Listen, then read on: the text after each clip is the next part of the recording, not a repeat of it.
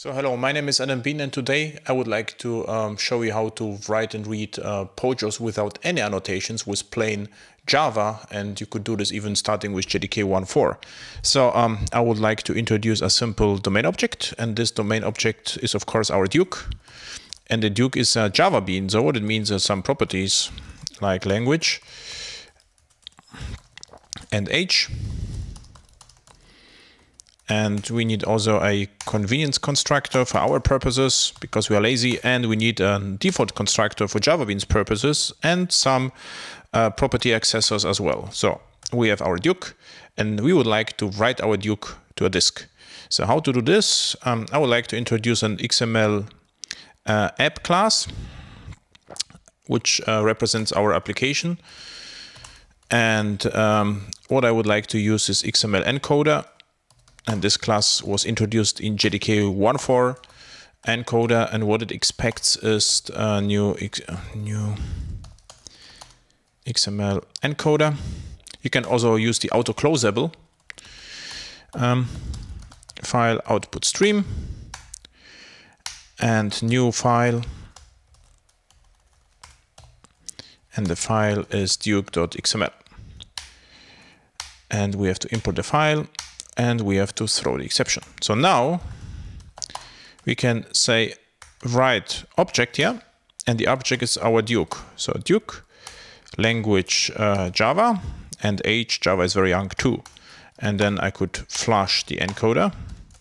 So now it should be on disk. So I can um, run the app and uh, no, no news are good news. And now try the reverse. So I would need the XML, XML decoder. And I call it decoder equals new XML decoder. And uh, what I need is the um, input stream, new file input stream.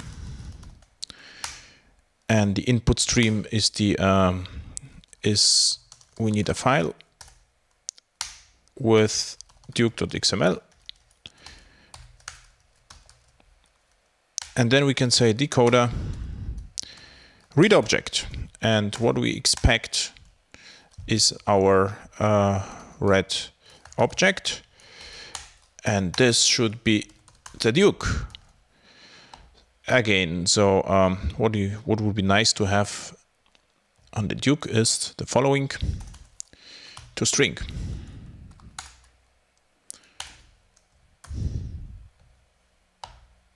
So run file.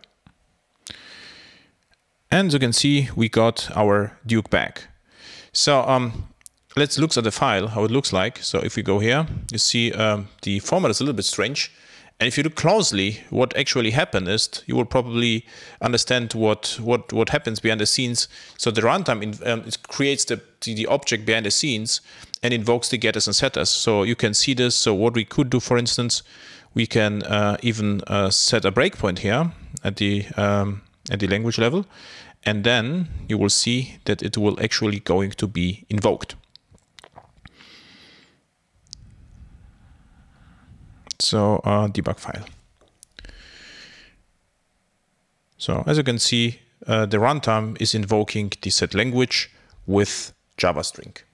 So um, enjoy XML and Java and see you at airhacks at Munich Airport. Bye.